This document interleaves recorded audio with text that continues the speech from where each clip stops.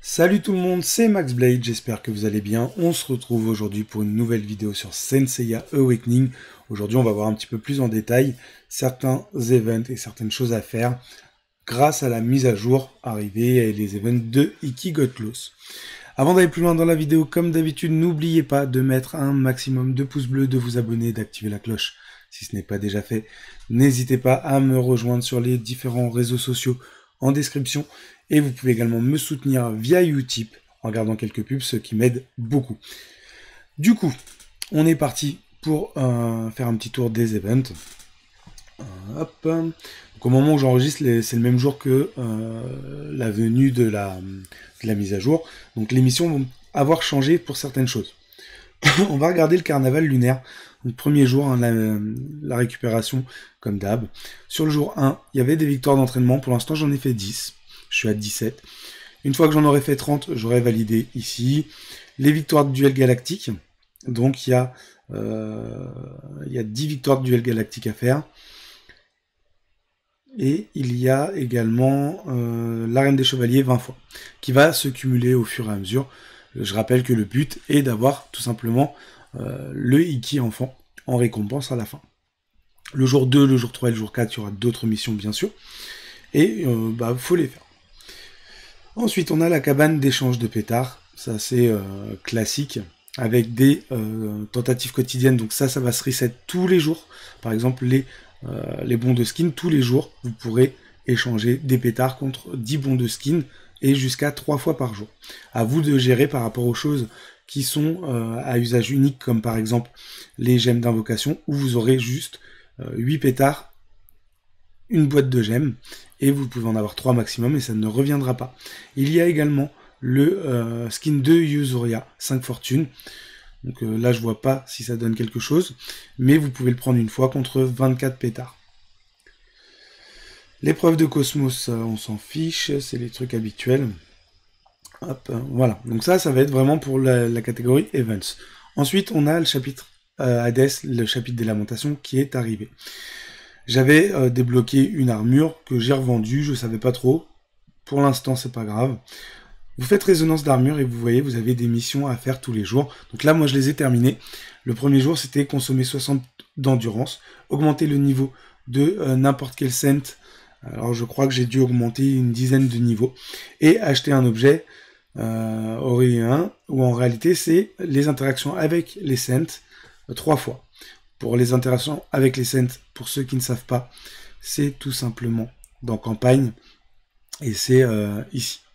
Donc euh, voilà, c'est ça à faire trois fois et ça débloquera les premières missions. Demain il y aura d'autres missions et ainsi de suite bien sûr. Du coup on va revenir dans le chapitre. Je vais terminer tout ça. Donc là j'ai obtenu euh, encore les trois objets. Si je crée une résonance, alors là comme je suis sur voilà. Comme j'étais tout simplement sur euh, l'émulateur, ça marchait pas. Bon, j'ai réussi à le faire comme ça. Retourner à la page principale. J'ai débloqué l'armure du verso à nouveau. Il faudra que je débloque les 12 autres armures tout simplement. Là, par contre, on ne peut pas. Pour l'instant, ça bloque à une par jour. Et j'ai euh, 200 euh, euh, de dispo. Si je clique sur l'armure du Sagittaire et que je la forge, il en faut 200. Donc là, par exemple, voilà, je vais débloquer l'armure du Sagittaire en même temps. Si vous obtenez plusieurs fois la même armure, vous la vendez. Et vous pourrez avoir les autres au fur et à mesure. au bout de 3 armures, vous aurez une récompense de 30 cristaux, 100 k d'or et 10 euh, de poussière solaire. Au bout de 6, 10 bons, 5 invocations euh, normales et 3 euh, clés.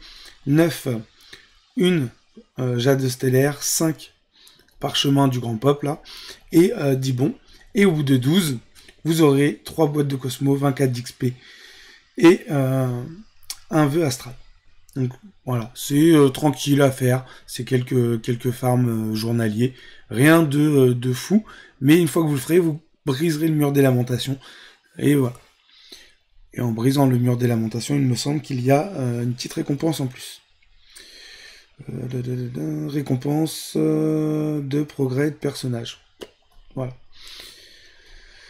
Ensuite, on a, non pas la cabine de la chance, on a dans le carnaval, donc les invocations à thème comme d'habitude.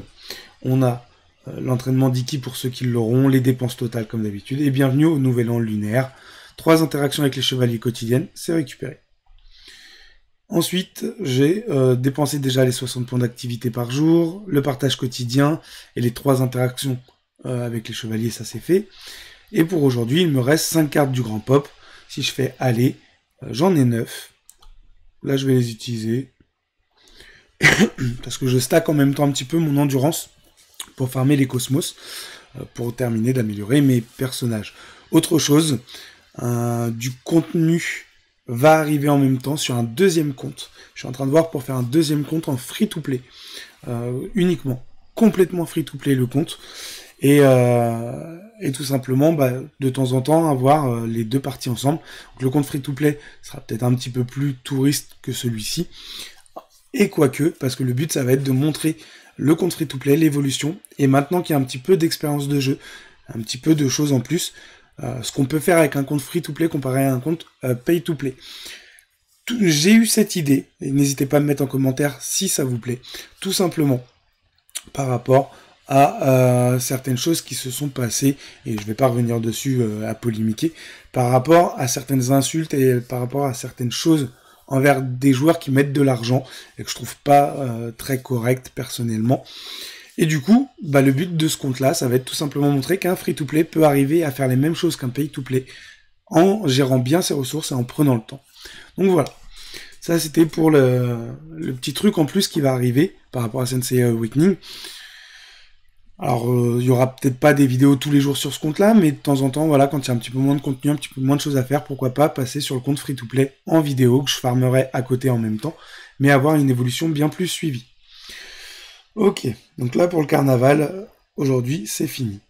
Ça va se reset euh, tous les jours à 5h du matin, il y aura d'autres missions qui nous permettent de farmer les pétards. Et du coup, je rappelle que les pétards sont euh, dans la cabane d'échange de pétards, ici. Donc là, n'hésitez pas, si vous voulez, le skin de Yuzuria, à stacker vos pétards pour avoir les 24, bien sûr. Voilà, ça c'est fait.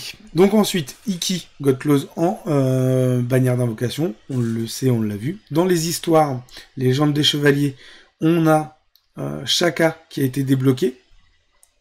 Voilà. Et le prochain, ce sera Aldébaran, tout simplement, qui n'est pas encore disponible. Hop, hop. Un nouveau Cosmos également qui est arrivé. Hop, euh, si je dis pas de bêtises, c'est un légendaire, le Ridodo. Le Ridodo, lorsque les PV sont inférieurs à 50% et qu'il y a un effet de contrôle de full, passe à la manche suivante et obtient un coup supplémentaire. En gros, si vous avez un personnage qui est contrôle avec moins de 50% de chance, ça va vous permettre d'enlever le contrôle sur le tour et d'avoir quand même une action. C'est clairement pas un cosmos euh, très très fou sur le, jeu. Il y a des cosmos légendaires bien plus utiles. Et de ce que j'ai cru comprendre et voir sur les différentes versions du jeu, les différentes personnes qui font des vidéos dessus et tout ça, c'est pas un cosmos très utilisé. Mais ils l'ont rajouté. Hop. Je pense que je n'ai rien oublié par rapport à la mise à jour, par rapport à tout ce qui a pop. Et euh, dans tous les cas, si j'ai oublié des choses, on en reparlera dans d'autres vidéos ou on en parlera tout simplement en live. Sur ce, je vais vous laisser là. N'hésitez pas hein, à vous abonner, n'hésitez pas à passer sur Utip, ce qui m'aide beaucoup à euh, lancer par exemple le concours que j'ai lancé, euh, ou je lancerai plutôt aux 500 abonnés, puisqu'on s'en rapproche pas mal, et ces derniers temps, il y a pas mal de nouveaux sur la chaîne. D'ailleurs, je remercie tous les nouveaux, je remercie tous les anciens euh, d'être là et de me suivre. Et en passant sur YouTube, en regardant quelques pubs, ça me permet d'avoir quelques centimes, ce qui me permet de lancer des concours comme je vais lancer là. Euh, et là, la figurine Seiya God Close en édition Mid Close qui est déjà commandée euh, pour lancer le concours, pour pas que le concours dure trop longtemps. Et, du coup, il y aura ça à gagner pour tous les abonnés. On fera une vidéo justement sur la mise en place du concours en temps et en heure. Sur ce, je vous laisse, prenez soin de vous et je vous dis à la prochaine. Ciao